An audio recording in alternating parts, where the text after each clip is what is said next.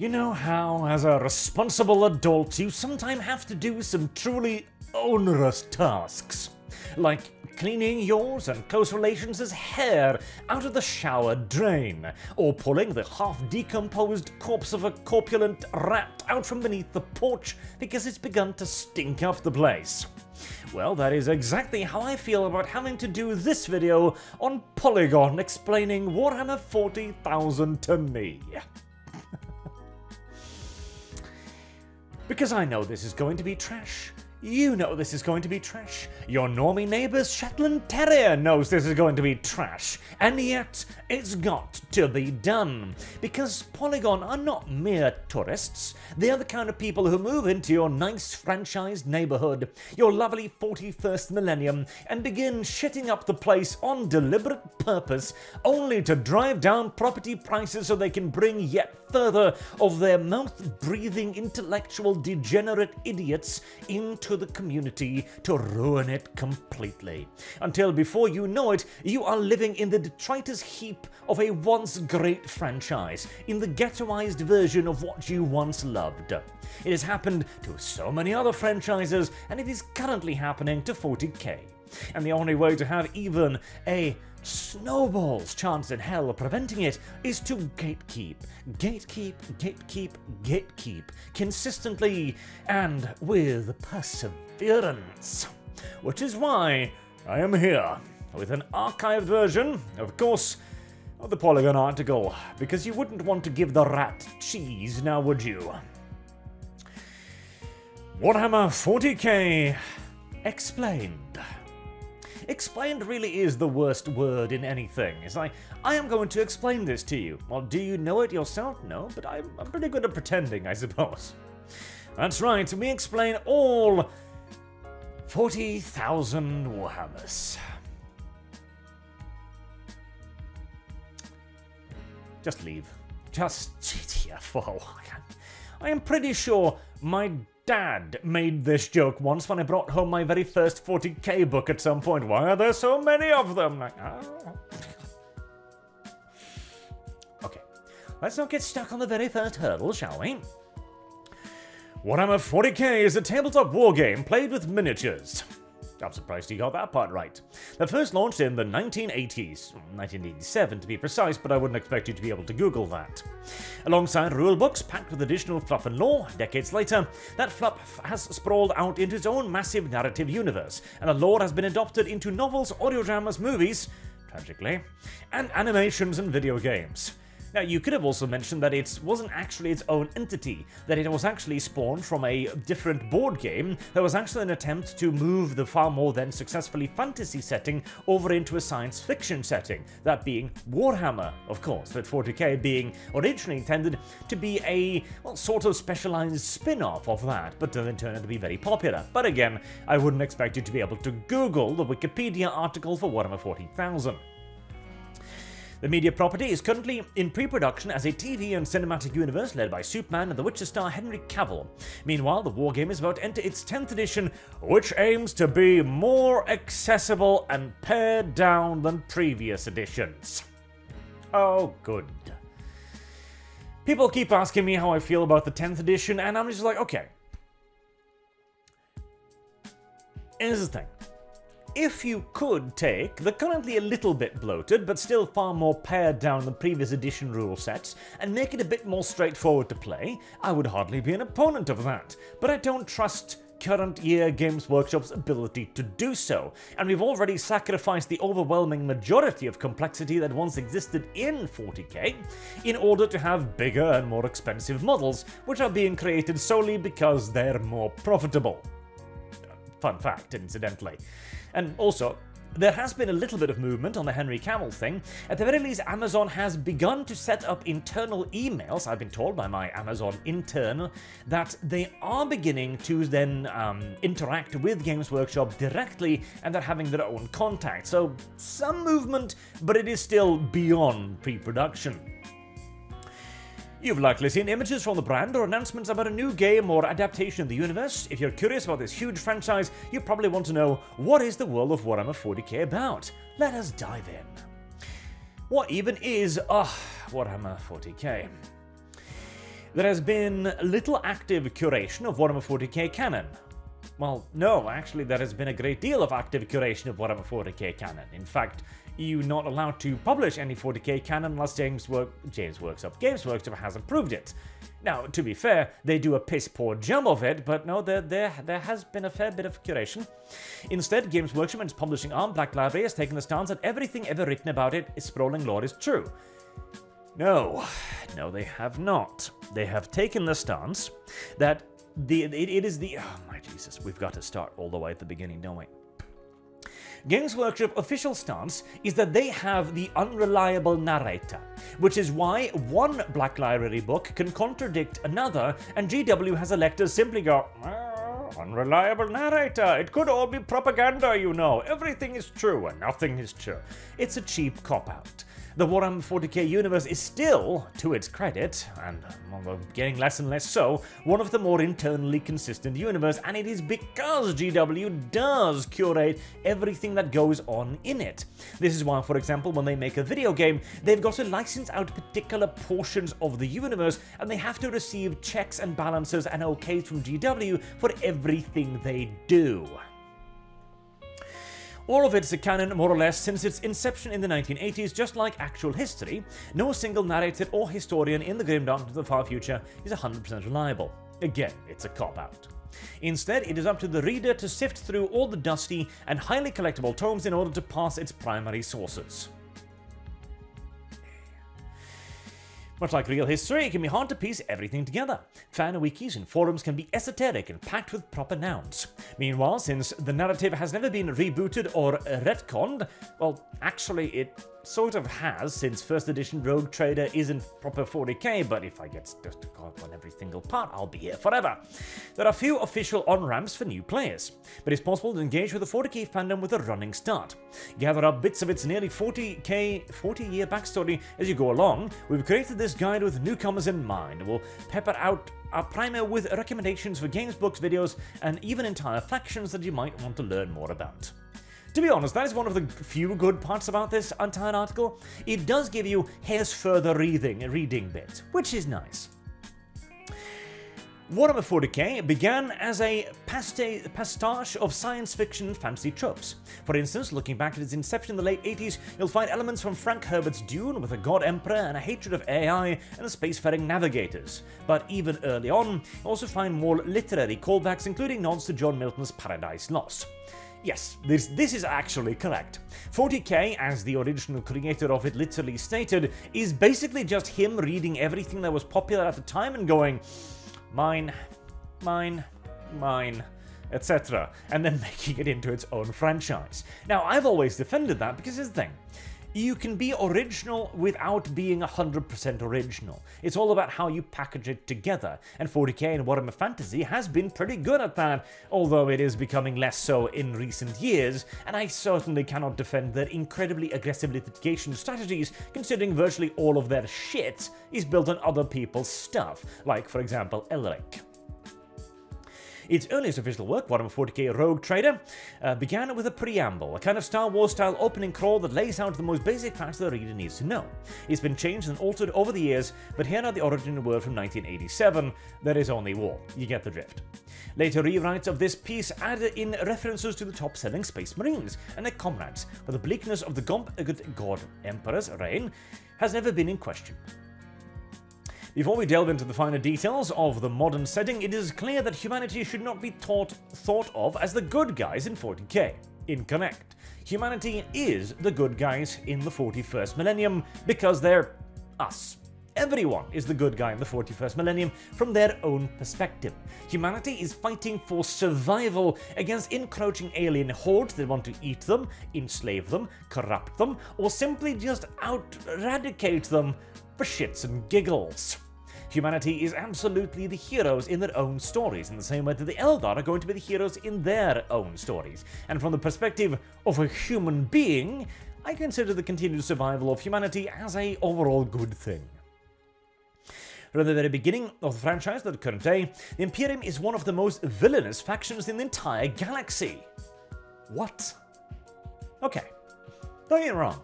The Imperium does a lot of cruel shit to survive, but one of the most villainous factions in the entire galaxy? What about the Necrons and the C'tans, who literally feed off fear and terror, and have already wiped the galaxy clean of life once? What about the Tyranids, which are currently in the process of attempting to eat the entire galaxy? What about Chaos, whose only goal is to corrupt everything into hedonistic extremes? What about the Dark Eldar, who literally live off torturing people to death? Eat my ass about this. So, this also feeds into this piece here. Warhammer 40k was originally conceived as a political satire and as an anti-fascist work of fiction. No, no it was not. This has been debunked again and again and again and again by the original authors, who have said that no, they didn't think of this as a political way, it was a grab bag of current pop fiction nonsense. They had no political overarching ideas here because, as it might shock you to learn, Polygon, there existed a before time a glorious period which wasn't the current year, which where everything wasn't actually divided between the furthest possible right and the furthest possible left on the political compass, where frankly most people just didn't actually give a shit, and big dumb dudes in space marine armor, knights in space, was just that. Big dumb dudes in knights armor with enormous guns fighting space aliens. Aye and they go on. Nevertheless, over the decades, the hobby has attracted no small number of right-wing fans who buy into either the in-universe propaganda of the Imperium or the marketing materials that describe the Space Marines and Friends as noble protectors of humanity. Again, the Space Marines are the noble protectors of humanity. Who else are they the noble protectors of exactly? The Eldar? The Nids? Chaos? Well, in part, I do suppose, with the Chaos Space Marines. But even this, it was conceived as a political satire and an anti-fascist work of fiction, and yet it has garnered a large right-wing following, has it? Polygon. Cease. Desist. Leave. Jump off a cliff. Commit harakiri. I don't even care so long as you're not here anymore. It is idiocy. The Imperium was one as cruel or perhaps more cruel to its own citizen than to its outsiders it considers to be a threat to its way of life. I I can't get past this point, can I? It considers to be a threat to its way of life. Oh yes, the, the Imperium merely considers the Dark Eldar to be a, a, a bit of a threat merely considers chaos to be a bit of a danger, merely considers the Tyranids to perhaps be a mild impediment to the Imperium's continued oppression of its own people. No, the Imperium does not oppress humanity for shits and giggles. It doesn't do it because it thinks it's funny, it does it because it's necessary to survive without using people as literal gristle for the machine to pump out endless arms and armor for the Imperial Guard. Without the endless ties of tanks and chimeras, humanity would be eradicated like a thousand other species before it. And it will not be at the hands of other humans, it will be at the hands of dark gods and vile Xenos breeds. Mm. Again, this is the entire idea of having the 41st universe explained to you by an ideologically obsessed crazy person. The Imperium remains the franchise's normal main characters. They give the larger fiction its point of view, its most instances, and absorbs much of the spotlight. This is even more extreme with the Space Marines, Games Workshop's top sellers. At least you've got that part correct. Authors will often hype them up and praise their virtues, outright ignoring, otherwise skipping over uncomfortable topics like their tendencies towards fascism, their origins as brainwashed child soldiers. Well, no. Origins as brainwashed child soldiers is one of the most common parts in their storylines. Practically every Space Marine book begins with him as an initiate. It is seen as a tremendous honor. Every single Space Marine codex, as far as I know, has talked about this. This is not a secret. This is not something skipped over. It is integral to their being, and it is part of painting the dark universe, because 40k is intended to be grim dark. As for fascism, I did an entire video on how 40k is not a fascist setting and how the Imperium is not fascist, so I'm not going to repeat myself here beyond saying, no, it isn't, because it can't be. It logistically can't be, even if it would like to. So why are they so dang fun to read about? Take Frank Herbert's Dune. gothic Christian imagery ramped up to 11, and giant war machines. Throw them all in a blender and you get 40k's Imperium of Man. Battle nuns drop cathedral tanks from orbit onto their enemies. No, they don't. Uh, the, the Sisters of Battle are not particularly fond of the orbital drop because they'd be, well, uh, they, well, say that they wouldn't be doing quite well as the drop pods is a mm, not entirely unique Space Marine thing, but uh, it's uncomfortable for human beings. The Adeptus Mechanicus, a transhuman faction of religious cyborgs, chant religious rites to the machine spirit inside tanks. Astra Militarum, also known as the Imperial Guard, is a faction made up of trillions of normal dudes in flak armor whose commissars urge them to uh, forwards at gunpoint. This is also another example of the tourism, the Astra Militarum. You mean the Imperial Guard, newbie, also occasionally referred to as the Astra Militarum by gays. It is a wild take on dystopian far future sci-fi removed from any of our current problems. Then why do you keep bringing up fascism? The Imperium sucks to live in, but it's fun to read about, and they have one redeeming quality, they aren't the other guys. Correct. Recommended media, Space Marines Dark Tide, Vaults of Terra, series by Chris Wraight. That's not bad either. The Quested novels, absolutely. Uh, we'll skip most of the recommendation thing. From 15 to 40k. The Imperium is based on a real-world history. Uh, sort of, in a, in a sort of pseudo kind of way, yes, in that it takes inspiration and indeed rips off entire things, like the Macharian Crusade in Alexander, for example. But since it's so far in the future, there are some big gaps in the timeline. We know that the Emperor of Mankind and his close groups of allies are perpetuals, immortal humans that are reborn into new vessels after perishing. Well, and his closest group of allies? Who?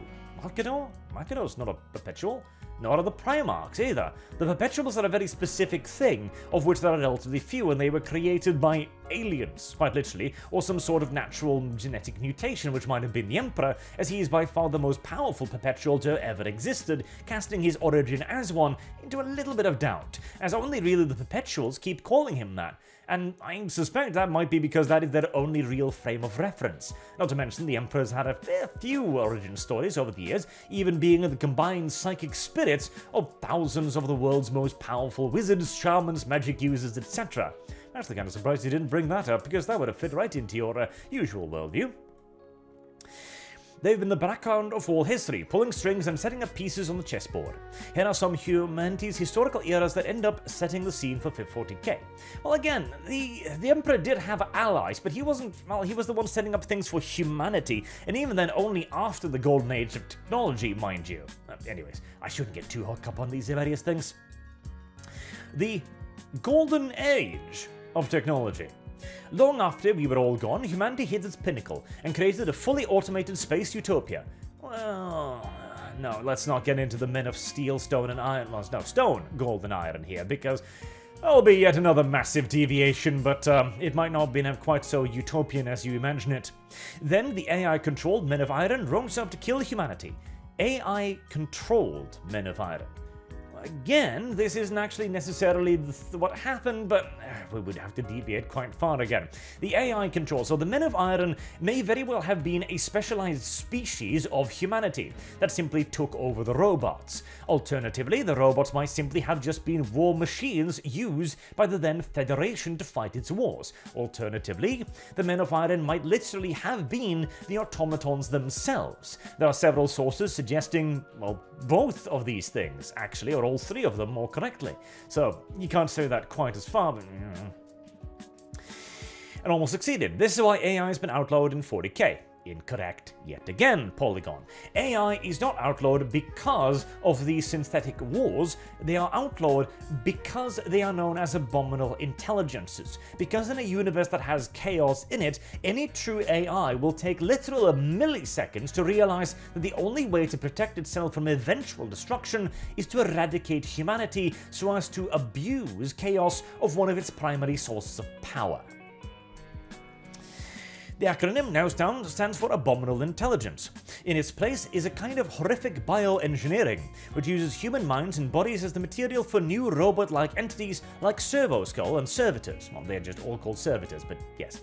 The Dark Age tech that survived usually crops up again and again in the modern timeline to cause some kind of problem, but we otherwise know very little about this era. Well, the Dark Age tech is actually the fundament of all human technology. It doesn't just pop up every now and again, every single solitary piece of the Imperium's technology is Dark Age technology, as it is all based on the original standard template constructs. The Mechanicus does not invent anything anymore, they simply rediscover and repurpose old technology. Age of Strife, the long night. With space travel shut off and the Men of Iron revolt leaving humanity in ruins, the survivors fell to civil war. Again, not actually correct, no. It, it, wasn't that humanity fell to civil war. The civil war was against the Men of Iron. After that, with space travel shut off, it was everyone for themselves. There was no large-scale organized civil war because there could be no large-scale organized warp travel. The Federation didn't fall to warfare with one another, it was shattered by the warp storms. But across multiple star systems, the Emperor of Mankind showed up on the main stage, created a faulty race of transhuman soldiers known as the Thunder. No, Jesus Christ, have you not even Wikipedia'd this shit? The Emperor, the only... Okay, so there are stories of humanity's previous existence. But as for the Emperor showing up on it, there are very, very, very, very few mentions of that, and when it happens, it appears to be in mysterious circumstances. He, however, primarily remained almost exclusively on Terra. He did not put up on multiple star systems, and he did not create the Thunder Warriors in multiple star systems. The Thunder Warriors were created on all Earth to begin the reconquest of humanity's empire. Yeah, yeah and forcibly united humanity under his banner, starting with Terra, beginning in the era of the Great Crusade. Large parts of the race were stranded because the fast and light tech went down with the Dark Age technology. No! Jesus, sweet baby. Because the warp made space travel impossible. And they were left to face constant assault and enslavement from alien Xenos. From alien Xenos. Xenos means alien, you titwink. The Great Crusade. The Emperor used his gang of genetic scientists to improve upon the Thunder Warriors, who were all dying horribly, and intentionally. The first step was to create 20 perfect sons based on the Emperor's own DNA, but Chaos interfered by taking these Primarchs and yeeting them to the far corners of the galaxy. At least they got that correct. The Imperium of Man began to scour the stars, searching for the Primarchs even as it began bringing all human worlds back into the fold, whether they want to join or not. During this time, two Primarchs were disappeared by the Imperium for unknown reasons and permanently scrubbed from the historical records.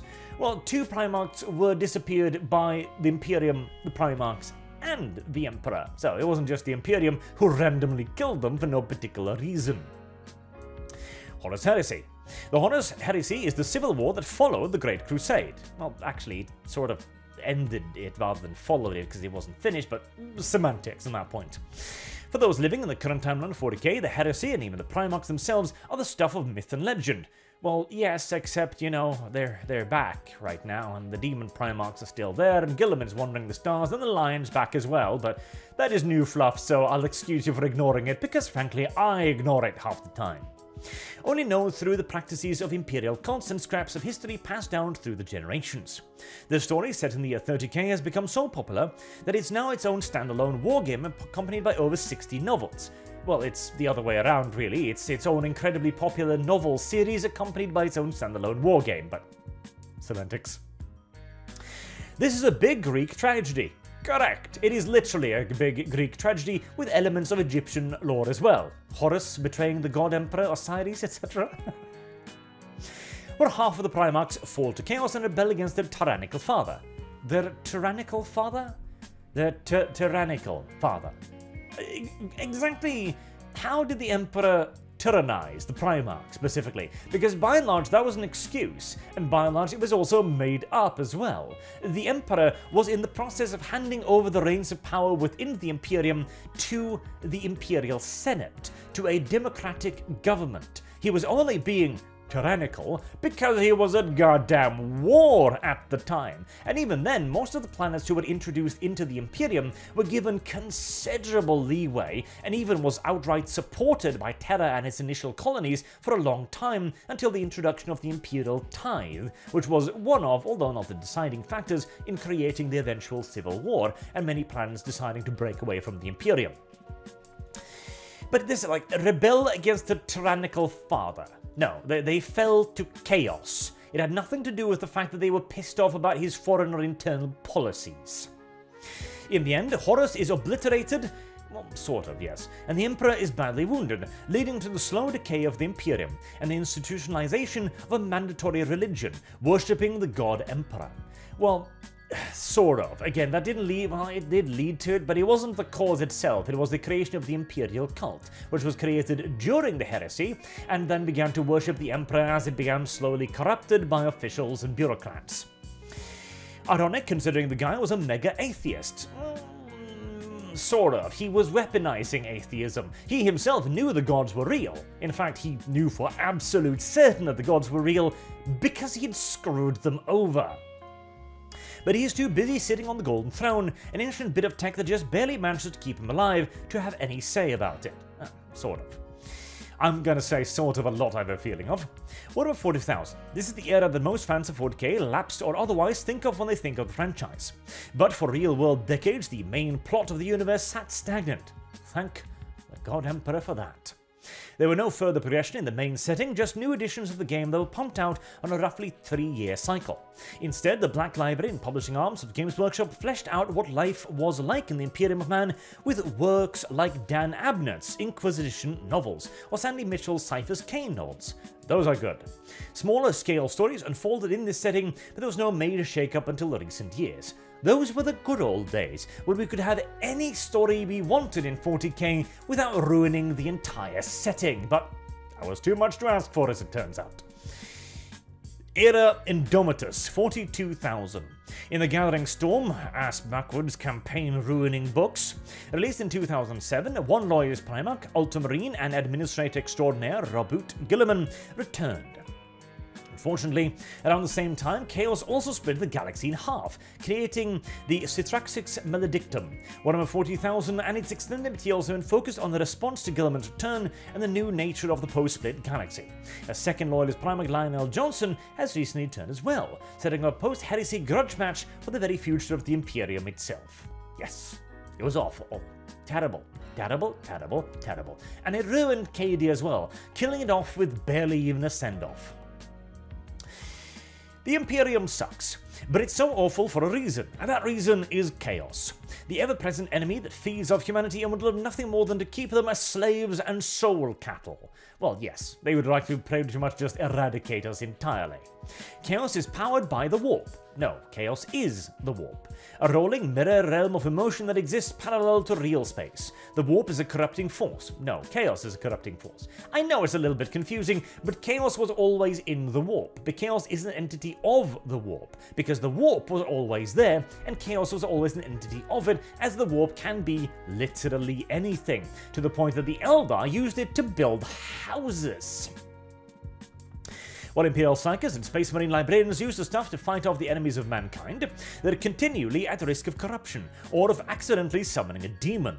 You can't escape these malevolent energies, especially after the Cicatrix Maledictum was torn across the galaxy and the warp began continually spilling out of it. There are four main Chaos God, although recent campaign books like the Ark of Omen have focused on some mini-gods and the greater demons who want to earn a promotion. Each god corresponds to some kind of powerful emotion. Khorne is a god of warfare and brutality, and also just combat in general and bloodshed. Uh, see, that's the thing. Warfare and brutality. He's more the god of combat in general, really, as he's also the god of honourable warriors too. His motto is blood for the blood god, skull for the skull thrones. Tzeentch is the god of change and is a patron to sorcerers and schemers across the galaxy. Nurgle is a god of life, disease, and decay. A god of life. No, he, well, sort of. He is the only Chaos God that creates life, but the only life he creates is flies. Literally. As his diseases, too, are more demonic in origin than bacteriological. Slaanesh is a god of excess and pleasure, born out of the heights of the Eldar, not the Aeldari, you goddamn recent year cuckwaff. Hedonism. Patrons of Chaos can follow one god or all four if they feel like it, they just can't commit, which is Chaos Undivided, or the minor gods as well. The natural minions of the Chaos Gods are demons, also known as the Neverborn. These are creatures from the warp that can only materialize in real space when specific conditions, like copious amounts of human sacrifice, are met. Incorrect, yet again. Copious human amounts of human sacrifice is the the thing that causes the thing that allows the human, the demons, to materialize, as they can only materialize in areas with an abundance of warp energy. The human sacrifice is there to thin the veil between real space and the warp. Cultists and double agents around the galaxy work on behalf of the Neverborn to make their manifestation possible. The gods and their followers continuously compete in the great game, and they're all likely to backstab each other as actually fight a foe together. That is correct. But there are no soldiers of Chaos as uncommitted as the Chaos Space Marines who fell in the Horus Heresy and are still created to this day. Horribly mutated, forced eke out an existence in the Eye of Terror, and whatever else they can be, frankly, and constantly struggling with what remains of their morality, I don't know about that, and humanity. The Chaos Space Marines are a tragic mirror of their brothers. Tragic mirror? Hmm, sort of. I can accept that. The Night Lord Omnibus? Yes. And the Sabbath Wars? Yes. The First Heretic? Nah. It's Dembski Bowden. Avoid anything Bowden made, unless it's part of the Horus Heresy, in which case you kinda gotta get through it. Oh, do read the Night Lords, by the way, because, oh, let me, let me, let me specify. Uh, avoid ever anything by Dembski Bowden that isn't about chaos specifically, because he does know how to write chaos, and he hates to write anything that isn't about chaos. Xenos, the aliens next door. Uh, this is where uh, we get the tiny bits, by the way, because all of the attention, I, I love how it's like, the Imperium, they're the bad guys, they're, you shouldn't give them so much attention. The Imperium gets a load of backstory, Chaos gets a fair bit, and then everybody else, two paragraphs. One paragraph for the Orks. The original satire and humor of 40k still exists, and the Orks are the best example of it. Yes, that I can agree with. And even the Tyranids, like two paragraphs, Necrons, one paragraph, Tau, two, Leagues of Votann, a whopping three or four, wow. And that's it. I, I, I, do love that. Welcome to 40k. Here are all the factions. Imperium, Imperium, Imperium, Imperium, Imperium. Chaos, Chaos, Imperium, Chaos, Chaos, Imperium, Imperium, Chaos, Chaos. Um, other aliens. Well, thank you very much for the introduction, and seeing as you have not decided to lavish any sort of attention on them whatsoever, I too shall choose to not lavish any attention on them at all, at least as far as your explanation goes. Plus, I wish to come out of this with at least some semblance of sanity intact. Polygon's introduction to Warhammer 40k.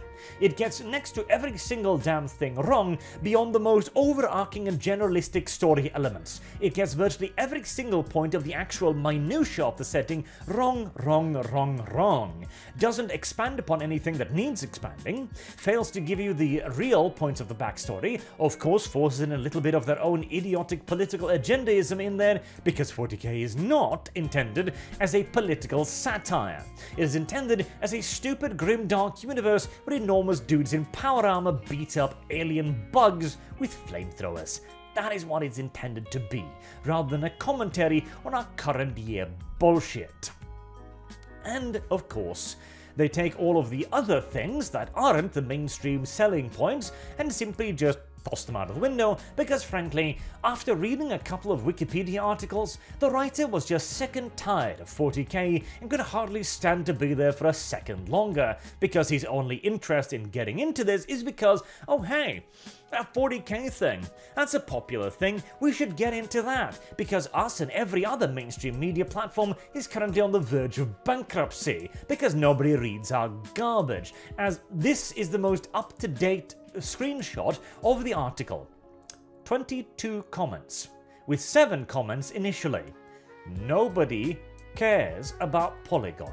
It is pure clickbait bullshit and it is pushed by the algorithm on the search engines, which is why the only reason why they're still alive is due to investment money and the fact that they get artificially benefited in searches. Beyond that, it is a garbage publication that, God, Emperor willing, will die swiftly just like Vice is apparently about to do. Allah willing. Until next time, I have been Arch. Thank you very much for watching me torture myself by putting my testicles in a vice and slowly squeezing. Have a good day.